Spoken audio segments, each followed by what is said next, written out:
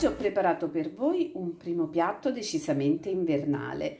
Si tratta dei bocconcini di formaggio, in particolar modo di parmigiano, cotti in brodo, che brodo che può essere vegetale o brodo di carne.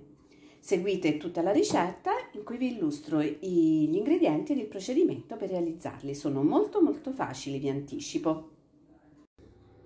Vi illustro adesso gli ingredienti necessari per preparare la nostra zuppa con bocconcini di formaggio. Innanzitutto abbiamo bisogno di ammorbidire 50 g di burro. Utilizzeremo poi 100 g di parmigiano tagliato in pezzi e 100 g di semola rimacinata.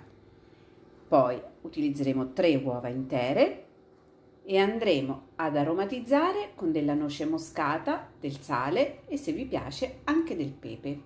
Per prima cosa andiamo a grattugiare, per così dire, il parmigiano mettendolo nel boccale per 10 secondi con una velocità che va progressivamente da 2 a 10. Il parmigiano è nel boccale, adesso do le impostazioni per il robot. Quindi vado a mettere 10 secondi come tempo. Parto da 2, do start e progressivamente aumento.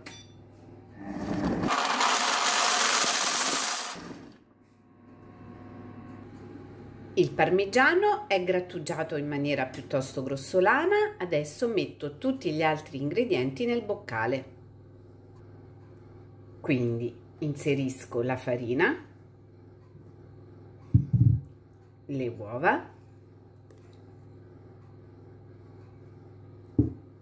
il burro,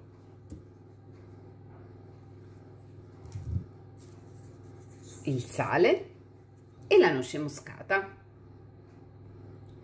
Vi ricordo potete aggiungere anche il pepe. Chiudo il tappo e imposto il robot.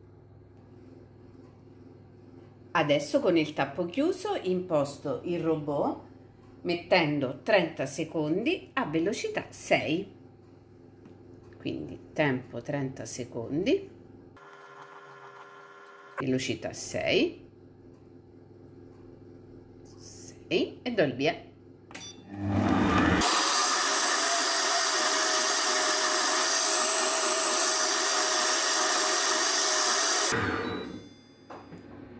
Il tempo è trascorso, mentre si svolgevano questi preparativi.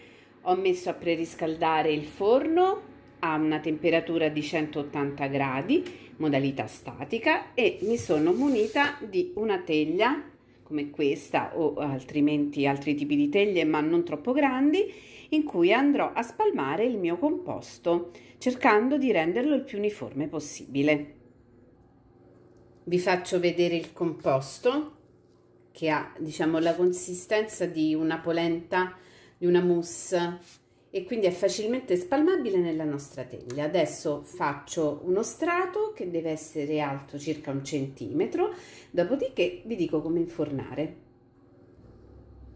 Ecco spalmato il nostro impasto, adesso lo metto in forno a 180 gradi, lo tengo circa 20 minuti a cuocere e ci vediamo dopo per vedere com'è una volta sfornato. L'impasto è cotto, adesso lo faccio freddare e poi lo vado a tagliare in piccoli cubetti. Nel frattempo ho preparato un brodo vegetale, ma se vi piace potete prepararlo anche di carne e vi metto a questo proposito nella descrizione sotto il video i link per le ricette del brodo granulare vegetale e del brodo di carne. E una volta che uh, il brodo andrà a bollire nella pentola metterò i quadrettini tagliati e li farò bollire un minuto. Faccio tutto questo che vi ho appena esposto, dopodiché vi mostro il risultato finale.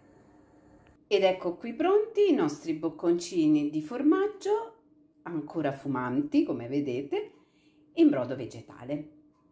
Spero che la ricetta vi sia piaciuta e se vi è piaciuta vi invito a mettere un like a questo video e a continuare a seguirmi sul canale YouTube in Cucina con Messier iscrivendovi al canale.